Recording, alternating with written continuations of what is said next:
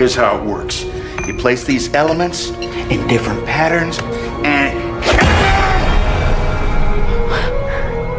you got yourself a sweet blade. You want to see a blade? I'll show you a blade. Yeah! Hammer.